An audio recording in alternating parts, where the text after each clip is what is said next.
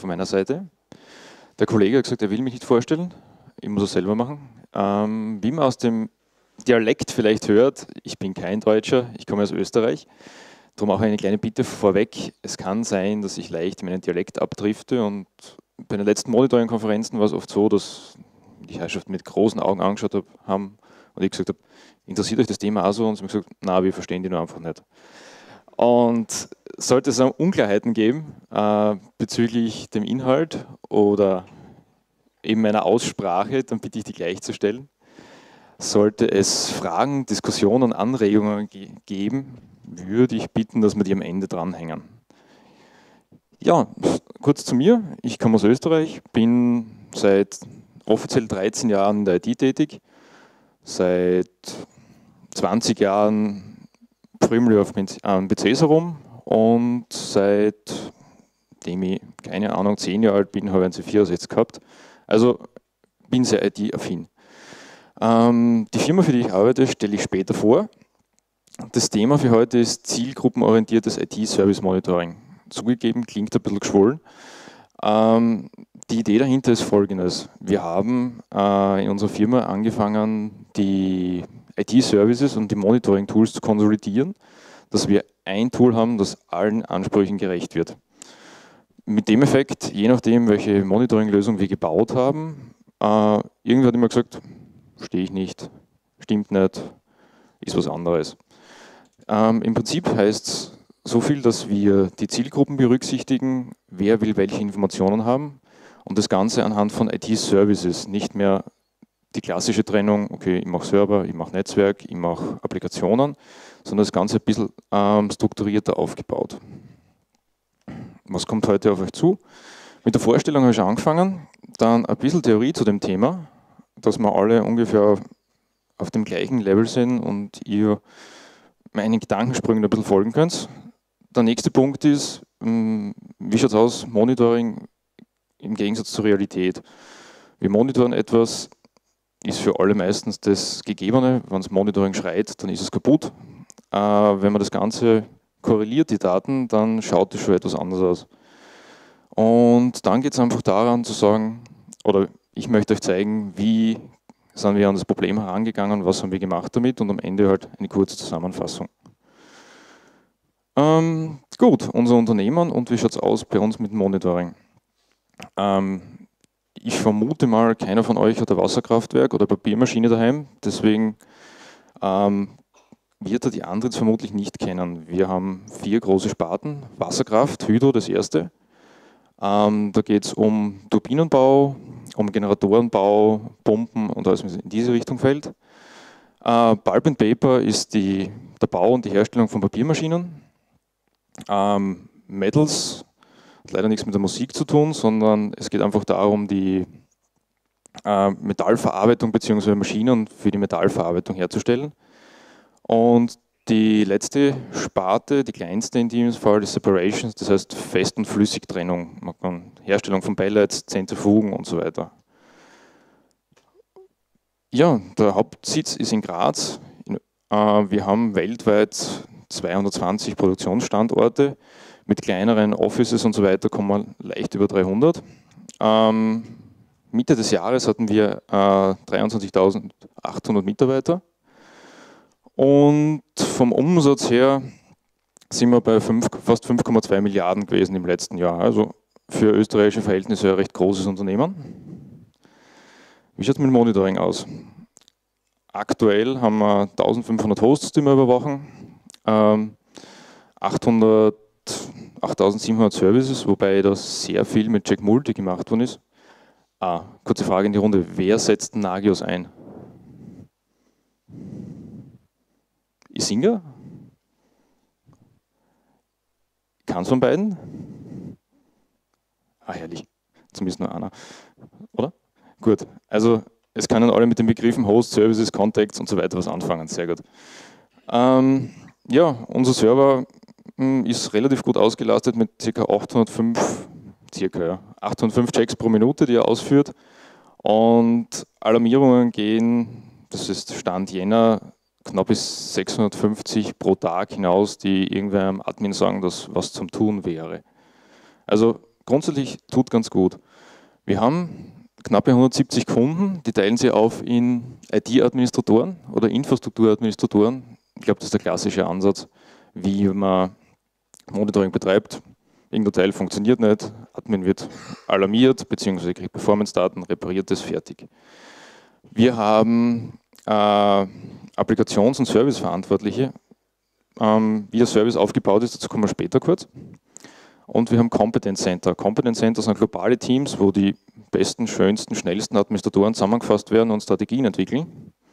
Und natürlich noch das IT-Management, die quasi uns sagen, was wir zu tun haben. Unsere Regionen, Schwerpunkt liegt auf Europa. Die seltsame Aufteilung, dass wir drei Arten von Europa haben, äh, liegt an den Verantwortungen der IT-Manager ganz einfach. Wir haben noch einen Teile in Asien und in den USA auch. Also von den Zahlen her, wen es interessiert, der kann sich später anschauen.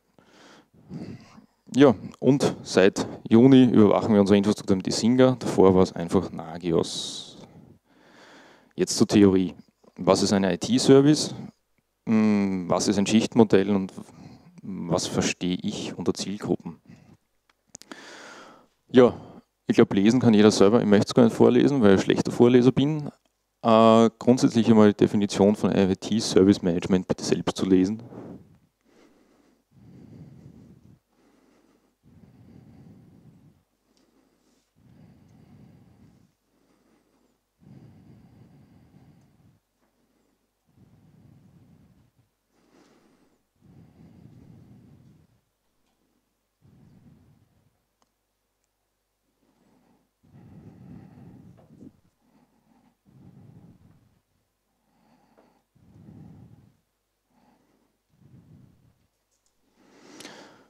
Gut, ich möchte da auf zwei Punkte genauer eingehen, nämlich einerseits auf die Kunden- und Serviceorientierung und im zweiten Punkt auf für den Kunden sichtbare IT-Services. Netzwerk ist zum Beispiel ein IT-Service, was der Kunde nicht sieht, nicht angreifen kann. Seit WLAN schon überhaupt nicht mehr. Aber das sind einfach ähm, Services, die werden bereitgestellt für andere Dienstleistungen, sind quasi da, aber ist kein Service, das der Kunde wirklich selbst benutzt, außer eben das Netzwerkkabel an sich. Also nicht wirklich sichtbar. Ein sichtbares IT-Service ist für einen Kunden zum Beispiel ein ERP-System, ein, äh, ein Buchhaltungsprogramm, ein Zeichenprogramm, wie auch immer. Und Kunden- und Serviceorientierung soll heißen, ähm, egal wie wir die IT betreiben, im Endeffekt ist es wichtig, dass wir das Service dem Kunden zur Verfügung stellen, egal wie toll, wie schön, wie perfekt wir ein Tool finden. Es muss im Endeffekt dem Nutzen des Kunden entsprechen. Aufbauend auf das ähm, gibt es ein Schichtmodell. Das Schichtmodell, habe, damit habe ich mich während meiner Diplomarbeit beschäftigt und der Michael Lübben hat vor zwei Jahren einen Vortrag gehalten und er hat einfach das bessere Modell gehabt. Darum hat er mir erlaubt, äh, die, auf ihn zu referenzieren und auch sein Modell soweit einmal ein bisschen herzunehmen für die Präsentation. Es ist nicht ganz gleich, aber ja, wir werden es gleich sehen. Grundsätzlich mal, wir nehmen das Baukasten mal das IT-System als solches her oder das IT-Service als solches her, was im Endeffekt den Kunden nutzen oder der Kunde nutzt. Als Basis davon nehmen wir das Netzwerk her, und auf dem Netzwerk aufbauend kommt eine Serverschicht. Die Serverschicht beinhaltet einerseits die Hardware, andererseits aber auch Betriebssysteme oder beziehungsweise die Parameter, die wichtig sind, um einen Server zu betreiben. Ähm, der nächste Punkt sind Komponenten eines IT-Services. Eine Komponente kann sein eine Software, aber auch ein Device, ein Hardware-Gerät in dem Fall. Das kann jetzt sein eine Datenbank, die auf dem Server läuft, oder in dem Fall ein Storage Device, NetApp, whatever. Ähm, und das oberste Punkt kommt die Applikation. Die Applikation ist das, was der Kunde sieht, was der Kunde benutzt. Wofür braucht man ein Schichtmodell? Ähm, grundsätzlich lässt sich mit dem Schichtmodell die ganze Arbeit rund ums Monitoring vereinfachen und besser erklären, beziehungsweise die Schichten bauen aufeinander auf. Das heißt, wenn das Netzwerk nicht verfügbar ist, kann den Server weder betreiben noch überwachen. Wenn gewisse Komponenten auf dem Server installiert sind und nicht funktionieren, äh, dann wird die Applikation im Endeffekt nicht funktionieren. Die Applikation, so wie sie da aufgebaut ist, soll, soll einfach eine einfache Web-Applikation darstellen. Das ist ein, ein Frontend-Cluster hier, der Datenbank benötigt und Files auf ein Storage ablegt. Sehr einfach, Beispiel, das man glaube ich sehr, sehr oft irgendwo sieht. Ähm, würde die Datenbank ausfallen, könnte unsere Web-Applikation nicht richtig funktionieren. Ähm, diese vier Komponenten bilden die Infrastruktur, so wie, sie, so wie wir sie, glaube ich, klassisch überwachen. Jeder überwacht eine Applikation, eine Netzwerkkomponente, äh, eine Datenbank, was auch immer. Ein Punkt fehlt bei dem Ganzen, nämlich die Präsentationsschicht. Die Präsentationsschicht ist eigentlich das, was beim Kunden nachher wirklich vor Ort funktioniert oder nicht funktioniert. In dem Fall ist es zum Beispiel eine, äh, ein Webbrowser, kann aber im gleichen Sinne äh, irgendein SIG-Client sein, zum Beispiel ein SAP-Client, was bei uns eben sehr häufig ist, eine CAD-Anwendung. Und damit arbeitet einfach der Kunde. Und der Kunde sieht eigentlich nur die Präsentationsschicht. Im Endeffekt ist ihm der Rest egal. Muss, muss er auch nicht wissen. Unser eins fährt mit dem Auto. Äh, ich weiß nicht, wer alles weiß, wie Einspritzung funktioniert, beziehungsweise wer seine Stoßdämpfer selber baut oder einbaut. Grundsätzlich ist es, es ist ja wurscht, das Auto muss fahren. Und das ist die Sicht des Kunden auf die IT. So, gibt es dazu mal Fragen? Sind alle wach? Na? Schade eigentlich. Kaffee gibt es aber noch draußen, glaube ich. Ähm, wie schaut es mit den Zielgruppen aus? In unseren Unternehmen gibt es im Großen und Ganzen vier Zielgruppen die unterschiedliche Anforderungen ans Monitoring-System haben. Die erste, unser Monitoring-System spuckt drei Dinge aus. Einerseits Alarme, das zweite, es stellt die GUI zur Verfügung, wo wir äh, Dashboards zur Verfügung stellen und das dritte äh, sind klassische Reports oder Reports in diesem Sinne. Ähm, die erste Kundengruppe bei uns sind die Administratoren, IT-Administratoren. Wie vorher schon erwähnt, ich überwache irgendwas, irgendwas geht kaputt, ich hätte gerne einen Alarm dafür, beziehungsweise ich würde gerne meine Komponenten, für die ich verantwortlich bin, im IT-Service äh, Overview einfach sehen und wenn was nicht funktioniert, äh, entsprechend handeln können, beziehungsweise entsprechend verständigt werden. Das zweite Level sind bei uns IT, das IT-Management. Die Herrschaften wollen nur bedingt Alarme kriegen, äh, bedingt deswegen, weil im Endeffekt, wenn ein Service, ein IT-Service länger down ist oder länger nicht verfügbar ist, würden sie es doch gern wissen, aber im Endeffekt möchten sie gegebenenfalls in, in ein Dashboard reinschauen. Aber das Wichtigste ist an Ihnen bei uns die Reports. Das heißt, nach einem Monat gesehen, wie war die Verfügbarkeit von diesem und jenem IT-Service. Die User an sich haben bei uns keinen Zugriff auf die, aufs Monitoring-System. Ähm, warum da jetzt ein graues Häkchen ist, äh, das ist die Verbindung über den Service Desk. Das heißt, der Service Desk, der mit dem User quasi versucht, Probleme zu lösen, sollte die Möglichkeit haben, zumindest sehen, sind unsere Services up and running. Und jetzt gibt es Normal Management, aber das mal im Business-Bereich und da geht es rein um Reports, die im Endeffekt darstellen, wie war die Servicequalität, Punkt aus. Und wo kann man Verbesserungen, äh, Verbesserungen äh, einlasten, beziehungsweise wo kann man an der Schraube drehen, um Kosten zu sparen, beziehungsweise wo braucht man einfach mehr Geld im Endeffekt, um die IT-Services stabiler, besser, schneller zu machen. Wie passen die zwei jetzt zusammen? Ähm, die IT-Administratoren möchten die Details von jeder Schicht wissen im Prinzip. Äh, bei uns aus diesem Grund, da jeder Administrator für etwas anderes verantwortlich ist. Wir haben eine Gruppe Netzwerkadministratoren, eine Gruppe Serveradministratoren, dann gibt es solche, die für Datenbanken verantwortlich den Storage und im Endeffekt Applikationsadministratoren, die eigentlich nichts anderes machen als schauen, dass die Applikation läuft. Die Präsentationsschicht ist bei uns deswegen nicht ganz so interessant für die Administratoren, weil wir eine klare Trennung zwischen Client und Backend haben. Ist zwar wichtig zu wissen für einen Administrator, aber im Endeffekt hm, ist es manchen Kollegen einfach wurscht, ob der User arbeiten kann oder nicht, Hauptsache ist ein Service rennt. Der Ansicht, dass ein IT, die Sicht des IT-Managements ist äh, hauptsächlich mal auf die Infrastruktur als Ganzes, nicht nur diese Detailschicht und eben funktioniert mein IT-Service als solches. Die User, wie gesagt, Präsentationsschicht, als andere egal. Und das Management, einerseits ordnen es gleich ins User-Level ein. Sie wollen mit Ihren Applikationen arbeiten können. Wenn was nicht geht, schreien Sie ganz einfach. Beziehungsweise die gleiche Schicht mit dem IT-Service. Das heißt, wenn das IT-Service als solches verfügbar ist, man will einen Status ad hoc haben, man will einen Status oder ein, einen Bericht haben über einen Monat, über ein Jahr. Das sind so die Informationen, wie kommen äh, die einzelnen Zielgruppen oder Interessensgruppen zu ihren Informationen. Ähm, das ganze Thema hat sich aus einer gewissen Faulheit heraus entwickelt, nämlich wie der erste Ansatz war, für jede Zielgruppe eigenes Monitoring aufzubauen. Äh, hat das Problem gehabt, die Daten haben nicht korreliert, das heißt, die User haben nicht arbeiten können. Das Management hat einen Report gekriegt, wo alles grün war. Und die Administratoren haben ihre eigenen Checks gehabt und waren ständig nur mehr am Schrauben. Also grundsätzlich, die Daten haben nicht, haben nicht korreliert und das Ziel aus dem Ganzen war heraus, so wenig Monitoring wie möglich zu betreiben und so viel Kunden wie möglich zufriedenzustellen mit den Informationen. Ja, das Ziel, unterschiedliche Aufbereitungen von denselben Monitoring-Informationen.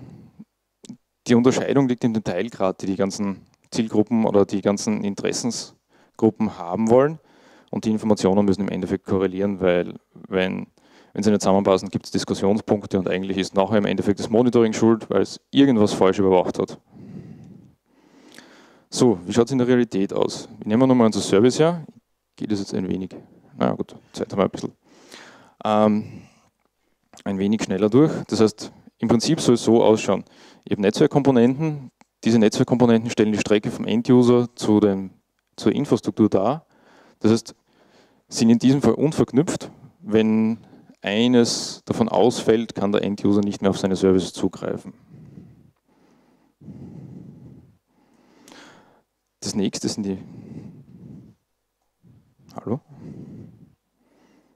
Das nächste sind die Server.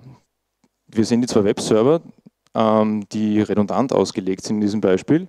Das heißt, oder verknüpft, logisches oder in dem Fall. Das heißt, fällt einer der beiden Webserver aus, der User kann trotzdem arbeiten. Die Datenbank ist nur ein einzelner Teil, beziehungsweise der Datenbankserver in dem Fall. Wenn der ausfällt, gleiches Problem, Service funktioniert nicht. Ähm, Komponenten. Die Komponenten sind jetzt die Datenbank-Applikation selber und die Storage. Beide auch einzeln ausgelegt. Das heißt im Endeffekt, fällt es aus, geht es nicht.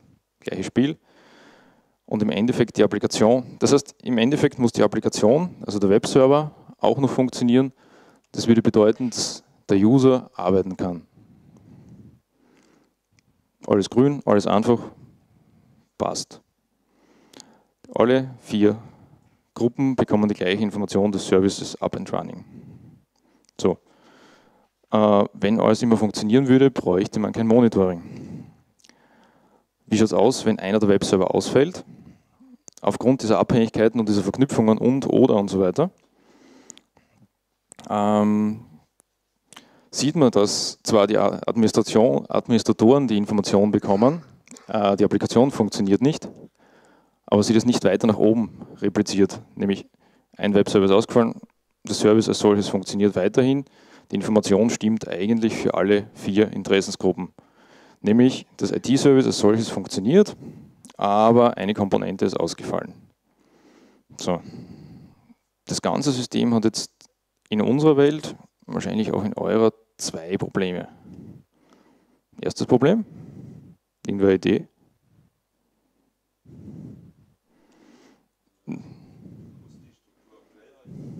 Richtig.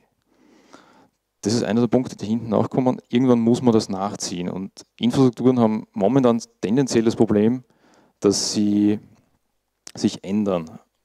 Und das ist einer der wichtigen Punkte. Alles, was ich hier aufbaue, muss ich kontinuierlich ändern, weil sonst stimmt es einfach nach einem halben Jahr, nach einem Jahr nicht mehr. Sonst irgendeine, irgendeine Idee für ein Problem?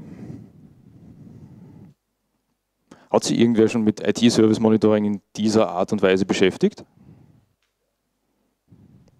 Na doch, ein paar. Also ich, hoffe nachher auf Feedback, Input, dass wir uns was verbessern können. Äh, bei uns schaut es leider meistens so aus, oder meistens, gelegentlich, sagen wir ehrlich, äh, dass der User nicht arbeiten kann, obwohl alles grün ist im Monitoring.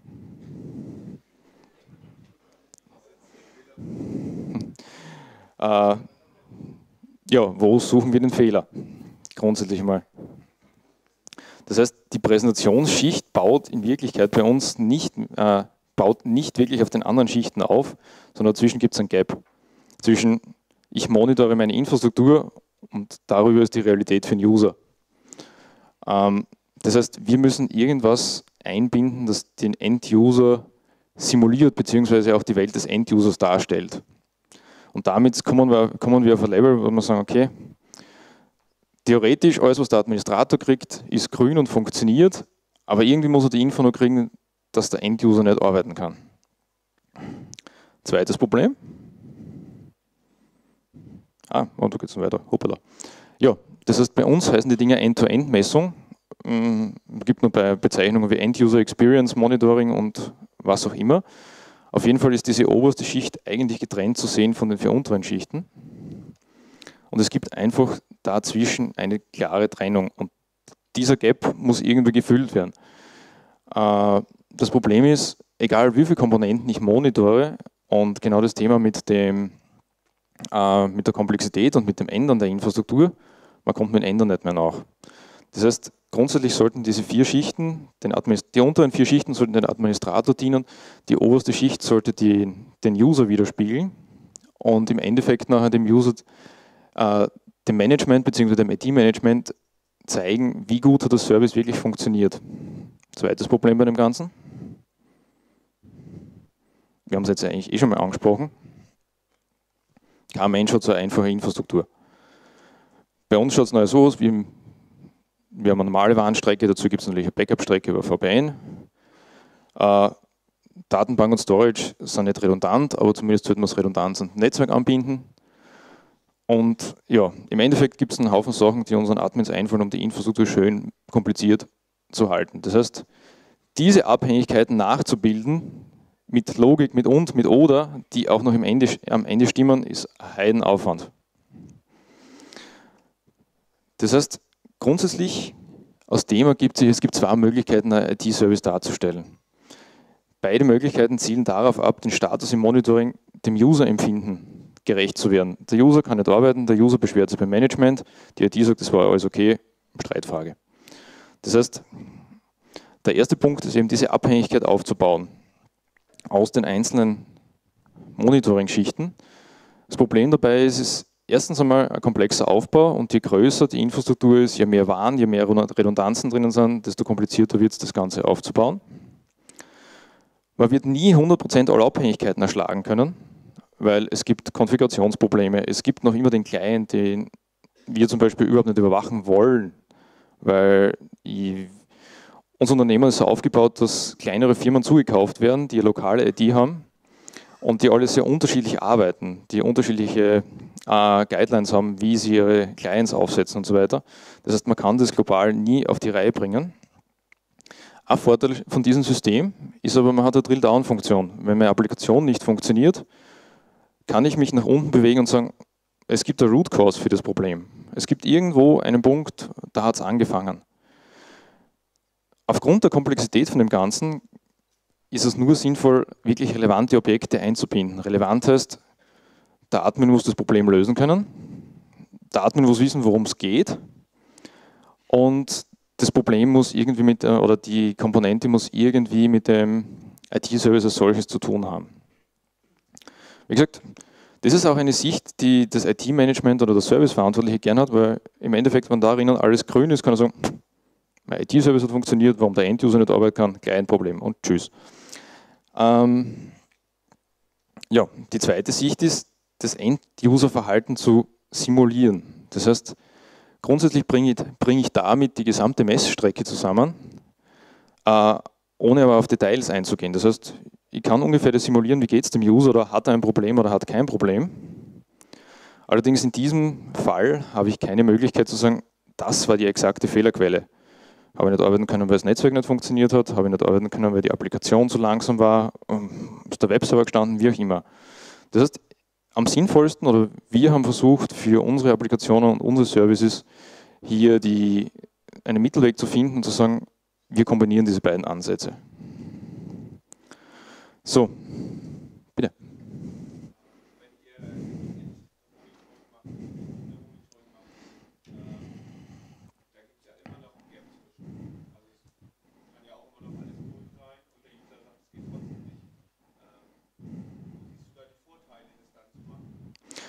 die Frage war, wenn man End-User-Monitoring macht, äh, das ist noch immer nicht die ganze Wahrheit, die der User sieht. Was gibt es für einen Vorteil, das zu machen? Bei uns ist das Problem oder Schöne an der Infrastruktur, dass wir sehr, sehr global aufgestellt sind. Das heißt, wir haben viele Standorte von außen und oft geht es eher um die Information beim End-User-Monitoring, kann der Standort auf die Applikation zugreifen. Das heißt, in unserem Fall ähm, ist es so, dass wir die Applikation überwachen, aber sehr rudimentär. Das sagen, also die Web-Applikation, ich versuche von Standort, also wir haben viele größere Daten, Datacenters und viele Applikationen, viele Services sind zentral gehostet. Ich nehme jetzt das Beispiel Graz her. Und ich habe in Graz ein, eine Datenbank, möchte aber mit mein, über meine Web-Applikation in USA auf diese Datenbank schreiben. Schöne Latenzzeit, aber zumindest es muss funktionieren. Das heißt, ich habe am Standort in den USA, nehmen wir Atlanta her als zum äh, Beispiel, die Möglichkeit zu messen, erreiche ich von Atlanta die Datenbank und wenn ich Daten, Sample-Daten aus der Datenbank hole, wie lange dauert es? Das heißt, es hat mit dem End-User-Verhalten in dem Fall nicht wirklich was zu tun. Es gibt aber uns die Möglichkeit zu sagen, unser Service funktioniert. Und wenn ich das jetzt auf, auf User-Ebene hebe und sage, ich habe eine Web-Applikation, die läuft in Graz, dann kann ich mich zumindest auf die Web-Applikation einloggen und zu sagen, okay, reicht mir die Information und zu sagen, okay, meine Web-Applikation funktioniert. Den Gap, dass du nie wirklich den, den User 100% nachstellen kannst, den wirst du immer haben. Bist du soweit? Okay. Gut. Wie haben wir angefangen, die Dinge umzusetzen bei uns? Ähm, zuerst einmal unser Monitoring-Team.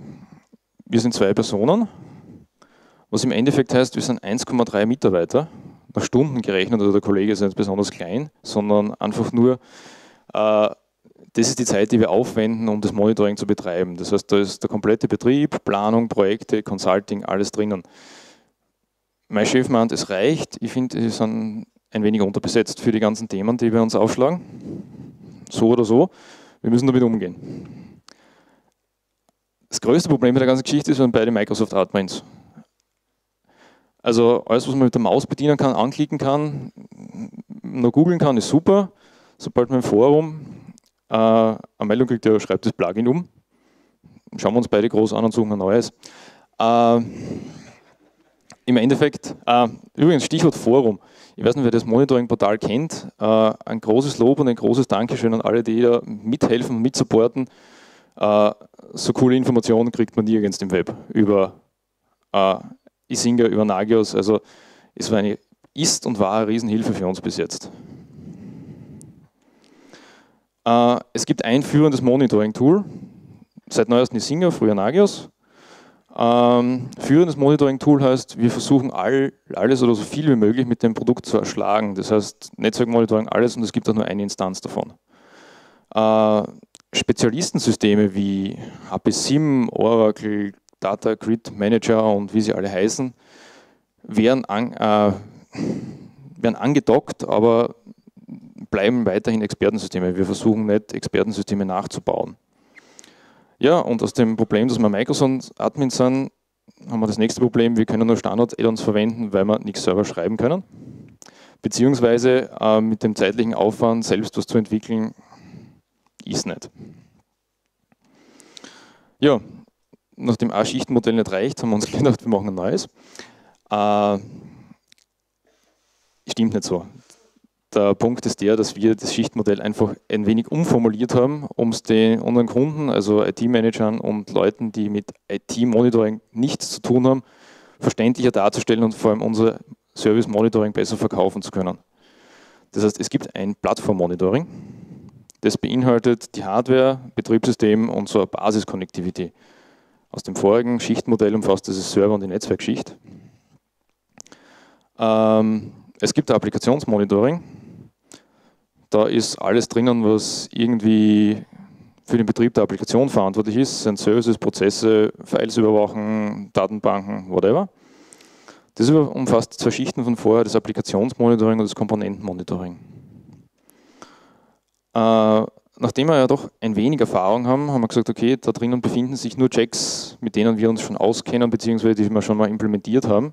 Dann haben wir gesagt, wir bauen ein oder wir schreiben ein Portfolio zusammen. Das heißt, wenn ein User zu uns kommt mit einer Anforderung oder ein IT-Manager sagt, okay, Portfolio dauert 10 Minuten pro Service, ist, ist erledigt. Ähm, jo. Parallel dazu gibt es IT-End-to-End-Monitoring.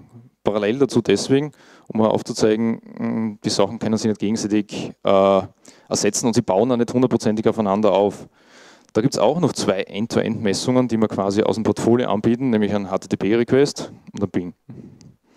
Alles andere landet bei uns in einem Projekt oder in einem Change-Request, den wir äh, ressourcentechnisch einplanen müssen, weil, genau wie du gesagt hast vorhin, man kann den User nie hundertprozentig darstellen, jede Applikation ist anders. Viele Applikationen haben nicht, nicht einmal irgendeine API, die man andocken könnte oder simulieren kann.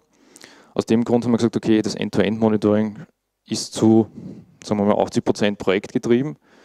Kann man besser verrechnen, kann man den Usern erklären, du, das dauert jetzt mal einen Monat, bis du da eine Lösung hast. Und aus diesen zwei, ah, übrigens, ja, ist die Präsentationsschicht in dem Fall. Und aus diesen zwei Komponenten, beziehungsweise aus diesen zwei Säulen bauen wir unser IT-Service-Monitoring auf, beziehungsweise unser KPI-Monitoring. IT-Service-Monitoring, ja, gerade erklärt, KPI-Monitoring. Wir haben einen neuen IT-Controller gekriegt, plus einen neuen Chef. Also KPI-Monitoring ist der absolut neueste Hype bei uns. Äh, es geht einfach darum, zwei Services zu definieren, die dem Management oder der IT ermöglichen, dieses zu klassifizieren und zu verbessern. Das heißt bei uns einerseits die Verfügbarkeit von dem Service, wobei wir wieder in die, in die Sparte End-to-End -End gehen, beziehungsweise eben die Kapazität. Das heißt, Beispiel Storage, wie viel Kapazität steht uns noch zur Verfügung, dass alle Mitarbeiter ihre Daten irgendwo sinnvoll ablegen können. Und das Modell ist so recht gut erklärbar, auch für Nicht-ITler beziehungsweise für IT-Manager, die weniger ins Detail gehen wollen. Wer mit ITIL was zu tun hat, beziehungsweise den Deming-Kreis sowieso kennt, dem wird das bekannt vorkommen. Wir versuchen uns an die vier Phasen zu halten, nämlich zuerst das Zeug zu planen, dann umzusetzen und im laufenden Betrieb zu überprüfen, ob das, was wir monitoren, überhaupt noch stimmt, beziehungsweise irgendwen interessiert. Ähm, dazu haben wir auch gesagt, in den einzelnen Gruppen sind unterschiedliche äh, Leute gefragt, die mithelfen sollen. Und das fängt beim Planen einmal an, dass möglichst viele Leute dabei sein sollen. Und wir fangen mit einer Bestandsaufnahme an im Normalfall. Mein Kollege schaut mir ein bisschen verwirrt an, weil er das noch nie gesehen. Also im Endeffekt ist es meistens bei Kaffeetratsch, äh, außer es bei, bei größeren Applikationen, wo wir wirklich versuchen, herauszufinden, wer ist der Kunde und was will er. Das heißt, wir betreiben das Monitoring nicht als Selbstzweck und weil wir so klasse finden, also Isinger finden wir schon klasse, aber das Monitoring an sich wollen wir so betreiben, dass es einen Nutzen hat für die Leute. Und wie viel wollen oder können sie wissen? Also wir haben zwei Kategorien mm, User, so Datenkraken, die quasi alles, jedes rote Event in einem Windows-Server wissen wollen. Und wir haben so Leute, die einfach nur wissen wollen, gibt es einen Server.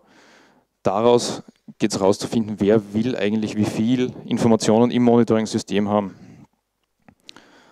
Ähm, das ganze Meeting sollte so sein, dass es detailliert genug ist für die Umsetzung. Also nach dem Meeting sollte für uns als Team klar sein, was tun wir, wo wollen wir hin, was wollen wir dem End-User präsentieren im Endeffekt.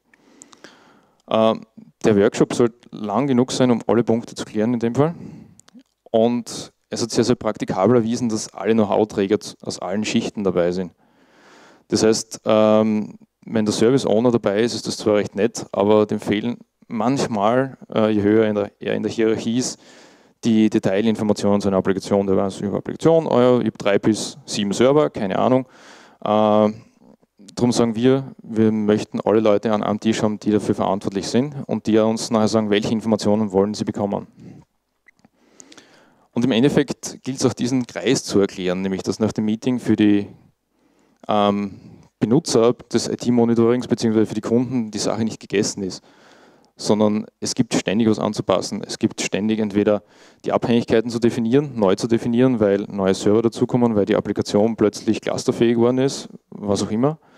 Äh, es gibt aber Dinge zu klären, wie Schwellwerte haben sich geändert. Mein Server ist plötzlich zu 99% ausgelastet. ist trotzdem nur okay, er funktioniert, wir passen Schwellwerte an. Also alles das muss dem Enduser bewusst sein, dass das nicht bei uns im Monitoring-Team liegt und wir also nicht, bewerten können, ob seine Applikation funktioniert. Wir können nur das umsetzen, was er braucht. Und für schwierige Kandidaten haben wir es eingeführt, dass wir ein Abnahmeprotokoll haben. Weil die sitzen dann in einer Besprechung, nicken als ob, sagen, super, lässig, klasse, brauchen wir. Nach der Umsetzung von dem Ganzen sagen, na, das wollten wir eigentlich ganz anders haben. Wenn man die Herrschaften das unterschreiben lässt, lesen sie es zumindest einmal nochmal durch und kommen drauf, ja, das wollen wir ja doch nicht so und das ist zu teuer, das dauert zu lang, das ist nicht schön genug, wie auch immer. Äh, ein noch gemeinerer Punkt ist, wenn man das IT-Service nimmt und möglichst weit oben präsentiert, also Management-Ebene präsentiert und das sehr oft rot ist, dann kriegt der Kollege, der das Abnahmeprotokoll nicht sauber gelesen hat, regelmäßig eine drüber, weil sein IT-Service rot ist. Kleine Boshaftigkeit am Rande, aber zumindest mal als, als Monitoring-Team aus dem Schneider. Zur Planung im Monitoring-Team, ähm, weil schon vorher angesprochen ist, wie komme ich zu den Daten? In unserem Fall, wir müssen uns irgendwie Plugins suchen, beziehungsweise Mittlerweile geht es auch, dass wir kleine, kleine Skripte selber schreiben, aber wie gesagt, Betonung auf klein. Ähm, die Planung der Aufwände, ähm, was bei sämtlichen Vortragenden oder beziehungsweise bei allen Firmen, die uns Monitoring-Lösungen verkaufen wollten, das Problem war, ja, wir stellen das Ding hin, das discovert, ihr klickt das, das Service zusammen, fertig. Ja. Es hat uns keiner gesagt, bis auf eine Firma mittlerweile, hat gesagt, ihr könnt es rechnen, 50% organisatorischer Aufwand, 50% äh, technischer Aufwand, Implementierungsaufwand. Das ist auch ungefähr das, was wir mitbekommen haben. Nämlich das Implementieren dauert nachher gar nicht mehr so lang, aber bis die Leute wissen, halt, ich kriege eine Alarmmeldung, was muss ich mit der Alarmmeldung machen? Na, das geht mir überhaupt nichts an.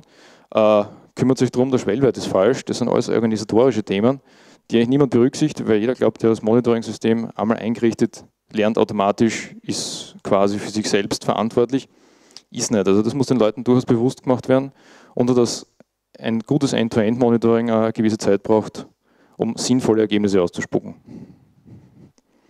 Das heißt, Planung der Aufwände ist die Anpassungen im laufenden Betrieb beziehungsweise die Anpassungen zwischen den Services, die Abhängigkeiten zu definieren und auch die Zeit für die Entwicklung des Ganzen. Und ein Punkt ist eben die Wartbarkeit im laufenden Betrieb. Man kann ein irrsinnig schönes IT-Service aufbauen, wenn sich ständig ändert, ist man nur am Warten und man ist eigentlich nur mehr mit zwei Leuten dafür verantwortlich, zwei IT-Services regelmäßig updaten zu können. Ist sinnbefreit, sage ich jetzt mal. So, mit was haben wir das gemacht? Erstens mal das Du. Äh, ja, liegt bei uns im Monitoring-Team, ganz klar. Die Business-Prozesse, das heißt so schön, so wird man so finden, auch im Google oder auf den Plugin-Seiten. Wir verwenden drei Dinge, um das darzustellen. Einmal das Business Process Add-on, ist klein, fein, hat den Vor- und den Nachteil, man kann es automatisch generieren, man kann Abhängigkeiten und oder n von m definieren. Äh, damit hat man aber das Problem, dann ist aus. Ja? Und wenn ich mehr Logik in das Ganze reinbringen will und sage, okay, wenn dieses Service Warning ist, dann ist das nicht kritisch, aber wenn dieses kritisch ist, ist das nächste Warning. Ähm, ist damit Ende Gelände. Das heißt, wir haben angefangen, noch weiter in die Tiefe zu bauen und verwenden zum Beispiel Check Multi, um diese Evaluierungsmöglichkeiten auszunutzen und zu sagen, wenn, dann und überhaupt und nicht nur dieses und und oder. Ein Plugin, das wir noch im Einsatz haben, ist Check Cluster. Das heißt, das fängt auf einer relativ tiefen Ebene unten schauen, Cluster-Funktionalitäten, Redundanzen zu nehmen und wir brauchen das nicht oben weiterhin auszubauen. Die End-to-End-Checks bei uns sind Skripts und keine Roboter. Wir haben versucht, Roboter einzusetzen. Wir hatten sie auch im Einsatz. Ähm, der Vorteil von Robotern ist ganz klar, er simuliert wirklich das End-User-Verhalten. Er simuliert, ob der, ob der End-User arbeiten kann, vor allem mit welcher Performance der End-User arbeiten kann. Die meisten Roboter, wir hatten damals ein schweineteures kommerzielles Produkt, das hat das gleiche Problem gehabt, äh, lassen sich leicht aus der Fassung bringen durch Pop-ups, durch hm, äh, Screensaver, man kann das natürlich alles relativ gut abfangen, aber im Endeffekt war nichts wirklich so, so schön funktionell, dass wir gesagt haben, okay, wir gehen den Aufwand ein und sagen, wir betreiben das Zeug. Vielleicht kennt irgendwer von euch einen guten Roboter, äh, mit dem es besser funktioniert, würde mich freuen. Ähm, wir haben dann beschlossen, wir setzen Skripts ein. Die Skripts laufen am besten ohne GUI. Das heißt, äh, wir sind von der Client-Ebene komplett entfernt. Wie gesagt, hat den Nachteil, wir wissen nicht, wie schnell oder wie gut es für den Client ist. Wir haben aber konstantes Monitoring, das unabhängig ist von Batch-Level, von Internet Explorern, von Firefoxen, von Security Tools, von McAfee, von was auch immer. Und wir haben über die Zeit einen Messwert, den wir vergleichen können, beziehungsweise wir haben auch Standort unabhängig die gleichen Messwerte. Das heißt, wenn am Standort X, jetzt Windows XP darf man eh nicht mehr verwenden, aber am Standort X wird Windows XP verwendet, Standort Y wird Windows 7 verwendet und am nächsten Standort Windows 8, hat man mit einem GUI-Roboter nicht mehr so krass vergleichbare Werte. Wenn man das Ganze auf der Command-Line-Ebene macht, so wie bei uns, ähm, sind diese Messwerte auch sehr gut vergleichbar. Das heißt, SAP-Monitoring zeige ich nachher kurz noch falls ich die Zeit habe.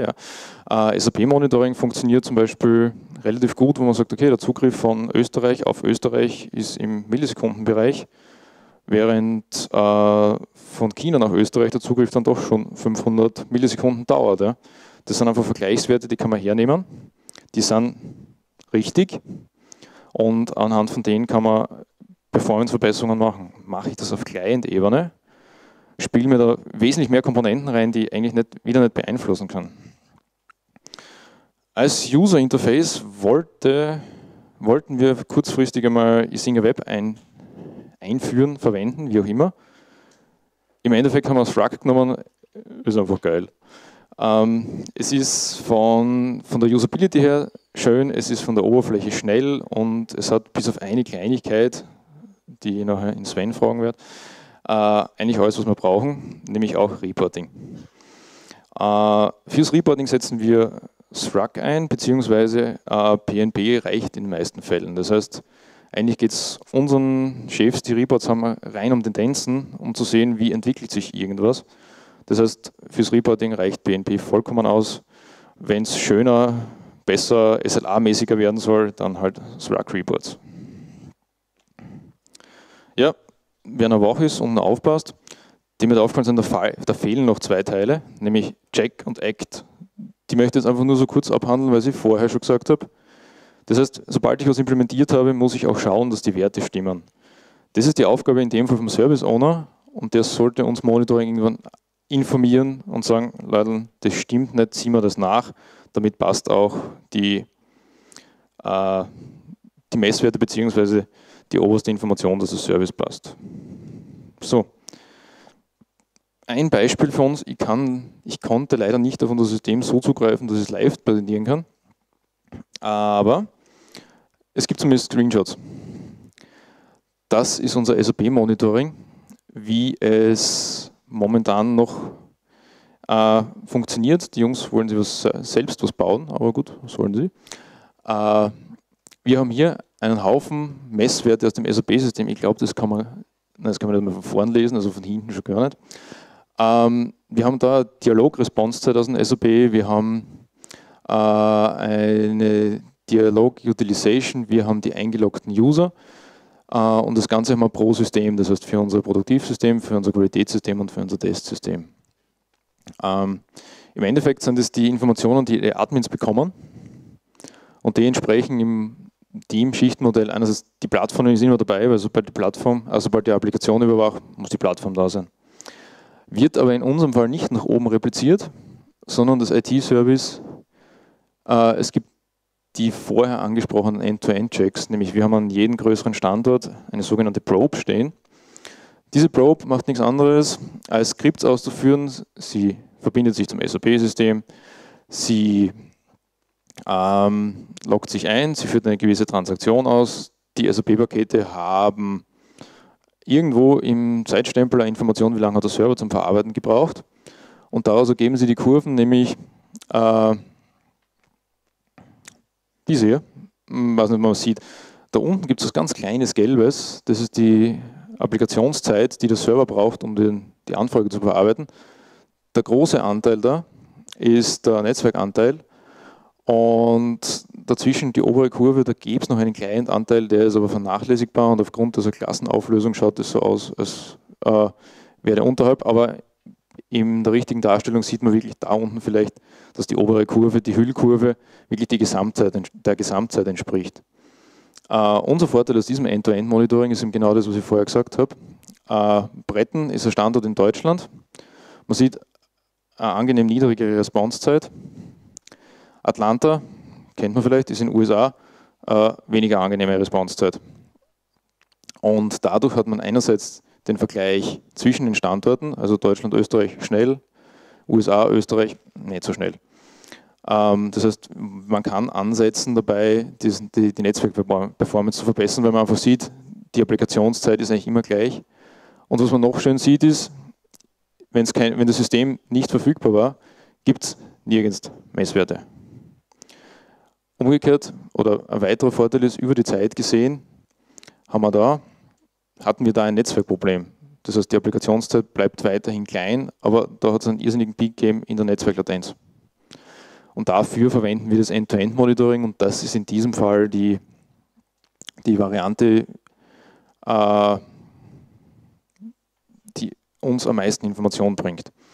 Was wir nicht machen, ist auf Biegen und Brechen alles umzusetzen.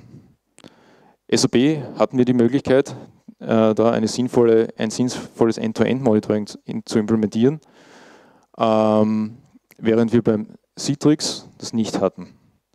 Unsere Cities farmen schon so aus, dass die Farmen weltweit verteilt sind. Man, gibt, man kann so Dinge wie Login oder sonstiges überprüfen. Aber im Endeffekt kann kein Mensch sagen, beziehungsweise doch unser Citrix-Admin, äh, wo ein User landet, wenn er sich einloggt. Und egal, was wir end-to-end -End messen würden bei den Citrix-Meldungen, man kann es nie wirklich in Relation zu den User-Problemen führen. Also zumindest nicht mit unserem äh, Monitoring-System das wäre was, was man mit dem Roboter machen könnte, aber wie gesagt, da haben wir noch keinen Gescheiten gefunden, der das wirklich problemfrei macht. Darum haben wir das gemacht mit dem um, na, Business Process Add-on, kennen vielleicht einige von euch. Und da kann man es recht schön aufdröseln und da sind wir wieder auf dieser Ebene beziehungsweise bei den Abhängigkeiten. Ähm, weil Citrix zu kurz ist, heißt das Ganze bei uns Service-Based Application Delivery. Ähm, Darunter versteht man einerseits die 4.5-Umgebung, die äh, Xen 6-Umgebung, äh, Lizenzserver und spezielle Server, wobei ich jetzt nicht weiß, was das ist.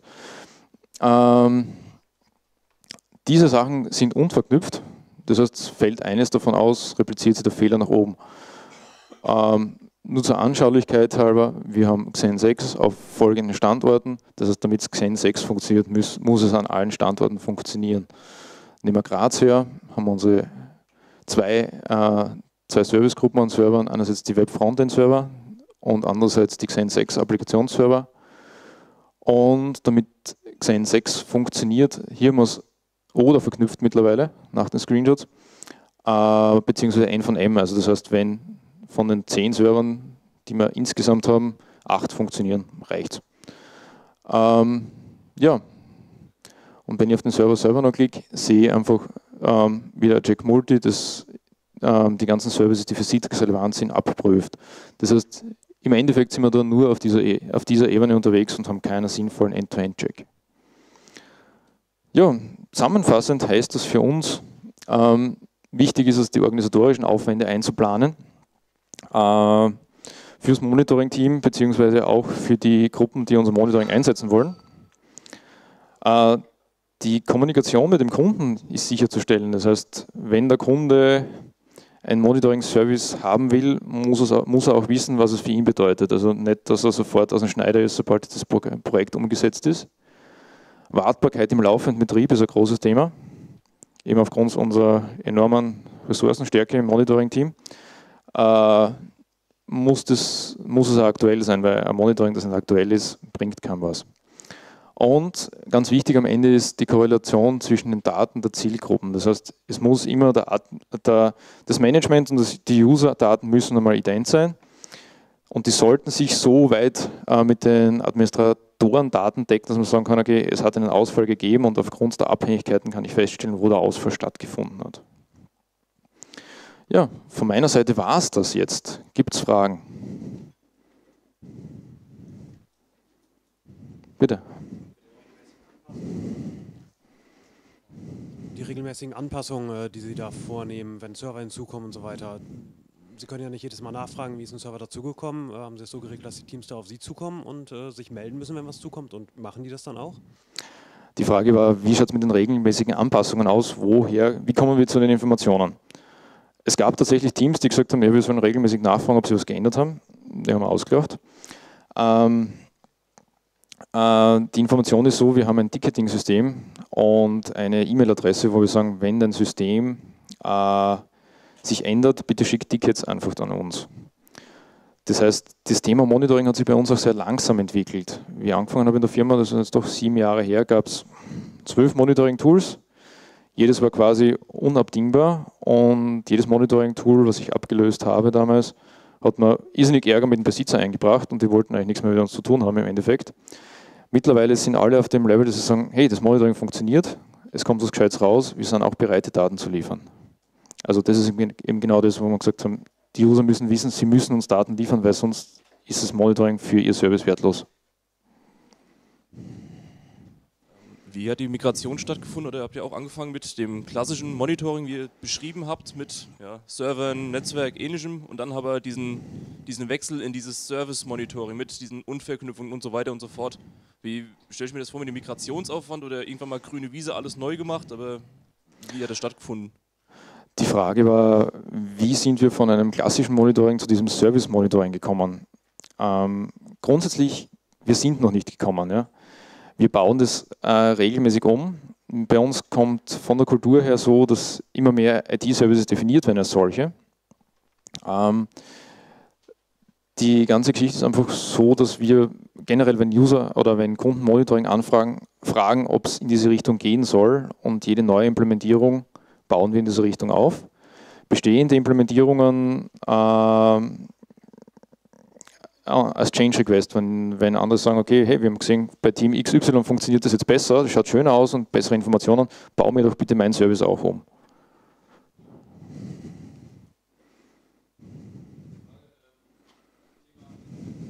Jo. Ah.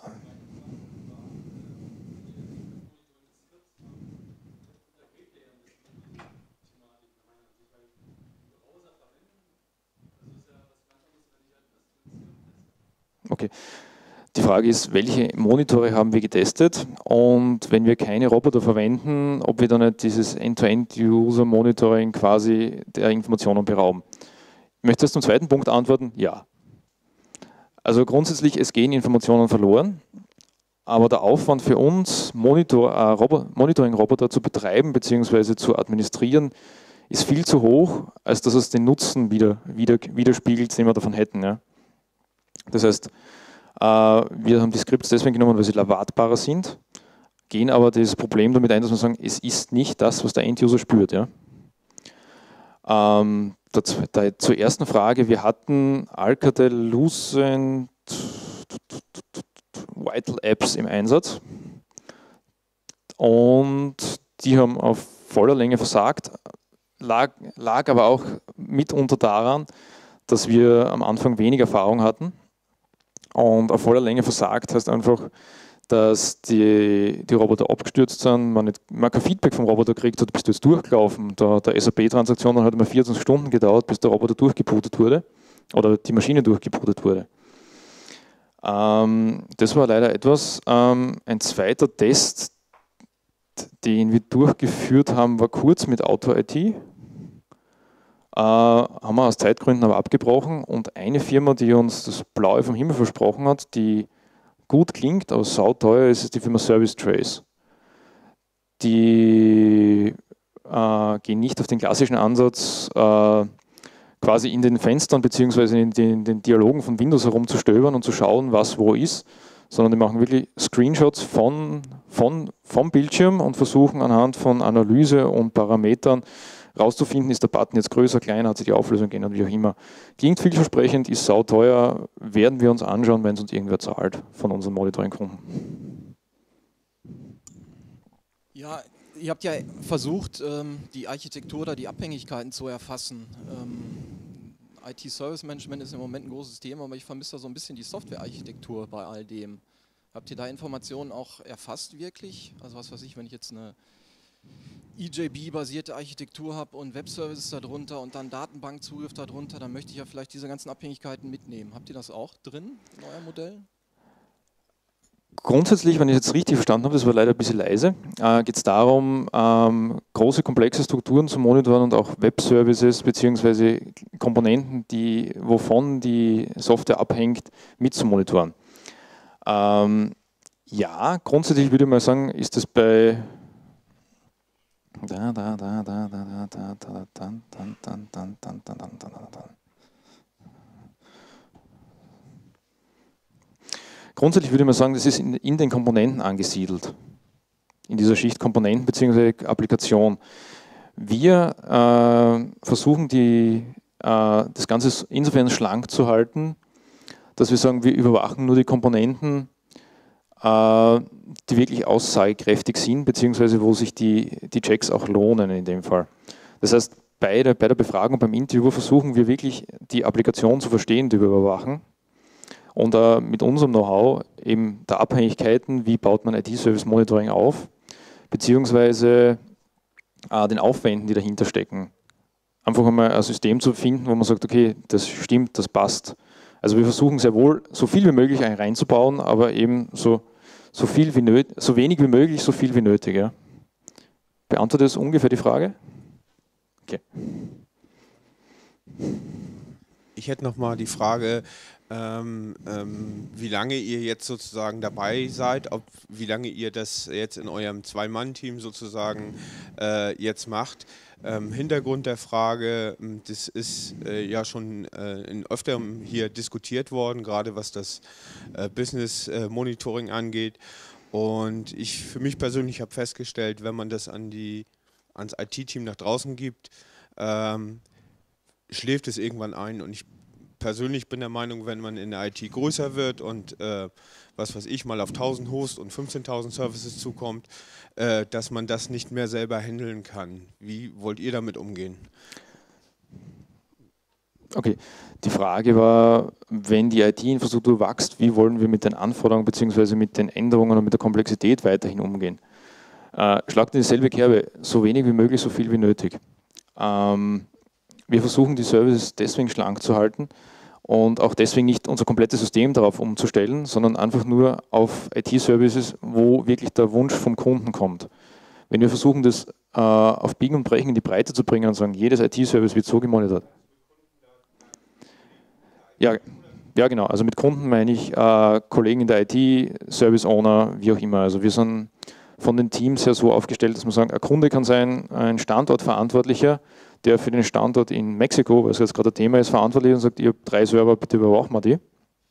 Während der Kunde ja sein kann, äh, hausintern, der sagt, okay, ich bin für die CAD-Applikation XY zuständig, die ja, mir sowieso Kopfzerbrechen bereitet, die an jedem zweiten Standort einen Depot-Server hat, wo Daten liegen, der die gecachten Daten wieder mit irgendeinem Storage auf irgendeinem anderen Standort repliziert, aber die Kernapplikation zur Authentifizierung ist in Graz zentral gehostet. Ja. Äh, grundsätzlich versuchen wir die Services zu verstehen und die Umsetzbarkeit zu machen. Und wenn es heißt, wir können es nicht umsetzen, ressourcentechnisch können wir es nicht umsetzen. Das ist nur wieder ein politisches, organisatorisches Thema. Also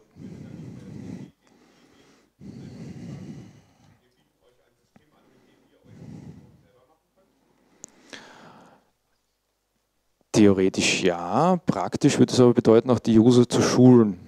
Also wir haben ganz unterschiedliche User, die sagen, hey, warum können wir nicht selber unsere Konfigurationen machen? Ist ganz klar, wir sind jetzt momentan nur auf Config-File-Ebene, also mit relativ vielen Abhängigkeiten und die wollen wir nicht aus der Hand geben. Uh, User bzw. Teams, die ihre Applikation so überwachen wollen, dass sie sagen, hm, sagen wir meine Server, sagen wir meine Applikationen, diese Abhängigkeiten sind mir eigentlich wurscht, ich will nur wissen, es geht nicht, ich will, ich will das Problem beheben. Diesen Usern wollen wir in Zukunft aber Frontend anbieten, wo sie, wo sie sagen können, okay, diese Server administriere ich. Und dieser Ansatz ist ein Ansatz für alle Teamleiter oder Kunden, die ihn wollen. Das ist nichts, was wir wirklich in die Breite bringen wollen. Also wollen schon, aber noch nicht müssen. Ja. Zum Thema Korrelation. Ähm, wie setzt ihr die Korrelation bei euch im Unternehmen um? Sprich, wie bringt ihr die unterschiedlichen Daten zusammen, um sie wirklich in einem Service zu definieren, weil da haben wir zurzeit so ein paar Probleme mit, weil wir unterschiedliche Komponenten einsetzen und die wollen wir ja irgendwie zusammenbringen, um eine vernünftige Information rauszubekommen. Und zum zweiten äh, Thema Service Trace ähm, mhm. setzen wir jetzt seit einem Jahr produktiv ein, also da könnten wir uns äh, mal kurz schließen. Ja gut, ähm, die Frage war, wie äh, korrelieren wir die Daten, beziehungsweise kommen wir zu korrelierten Daten. Und das zweite war sehr gutes Feedback da beim. Ähm, das mit den korrelierenden Daten ist irrsinnig schwierig. Wir haben auch keine, keine Lösung, die wirklich hundertprozentig funktioniert. Der erste wichtige Ansatz ist, es ist alles im Isinger drinnen. Das heißt, der, der Ansatz, diese Daten irgendwie korrelieren zu können, heißt, ich muss es irgendwo ins Isinger bringen. Wenn ich versuche, Daten aus einem anderen Monitoring-System mit den Daten aus Isinger zu korrelieren, keine Chance. Das wären zwei Reports, die müssten wir irgendwo in eine Datenbank beide rein migrieren und dort irgendein Reporting-Team dran setzen, dass man daraus sinnvolle Reports generiert. Also für unser Ding da Möglichkeit. Wir versuchen alles im Isinger zu haben und scheitern da teilweise schon an Reports weil einfach die Daten, die aus den Plugins kommen, oft sehr unterschiedlich sind, oder sich plötzlich Anforderungen ändern und man muss äh, Datenbankinformationen äh, plötzlich noch einmal weiter aufteilen in kleinere Stücke, um die nachher in irgendeine Verbindung zu setzen. Und das war auch ein äh, Grund, warum wir Isinga eingesetzt haben, weil die IDO-Utils in die Oracle-Datenbank schreiben können. Und unsere ganze Business Intelligence funktioniert über ein eigenes Team und wir haben gesagt, wenn jemand Reports braucht, dann schieben wir die Daten ins Oracle, dann kümmert sich das BI-Team darum, einen schönen Report zu zaubern und nicht im Monitoring. Also einziger Tipp, den ich jetzt momentan mitgeben kann, schauen, dass alles im Isinga ist und die Daten aus dem Isinga irgendwie verarbeitet werden oder korreliert werden. Okay, dann vielen Dank soweit. Wir müssten dann mit der Zeit dann noch weiterkommen. Vielen Dank, Oliver. Der ist auch noch zwei Dankeschön, Tage da, ich könnte noch eine Frage stellen.